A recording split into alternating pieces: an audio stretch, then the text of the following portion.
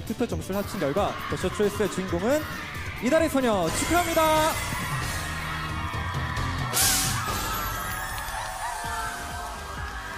아, 아. 네, 더쇼 초이스 이달의 소녀 소감 들어볼게요.